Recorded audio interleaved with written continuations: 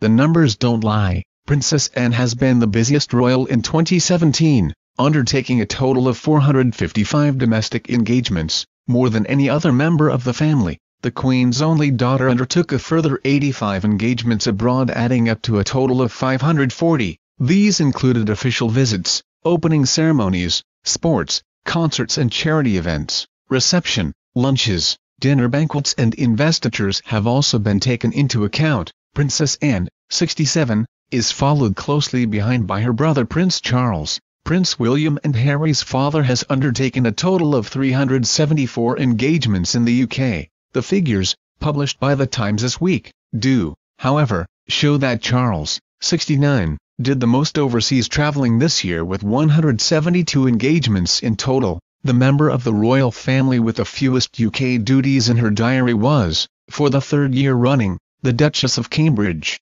Kate, who retired briefly from royal duties in September after suffering from acute morning sickness, or hyperemesis gravidarum, undertook 63 official engagements at home and 42 abroad. Her husband Prince William attended 117 events at home and 54 abroad, while Prince Harry made 139 domestic official appearances and 70 overseas. The Queen, 91, undertook a total of 296 engagements in the UK, whilst her husband, Prince Philip, 96, who retired from royal duties back in August, carried out 131 events at home. Veteran royal watcher Tim O'Donovan, 85, who studies the court circular each year to analyze the amount of engagements carried out by members of the royal family, said of the findings, every engagement is different, in terms of time spent in the preparation needed, whether it be a visit, investiture or a speech, it goes to show how much work they do. Of Princess Anne's busy schedule he noted,